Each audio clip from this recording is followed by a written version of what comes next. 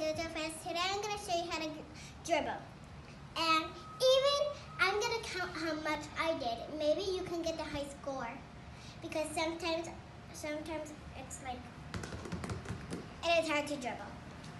So you have to put it, like throw it high like, so we can dribble like that. Lose track. Ah! If you lose like that, then you you you can restart and you can stop and you can keep on going at the number you went on. And then if you don't want to do that, you can restart. So I'm gonna do that.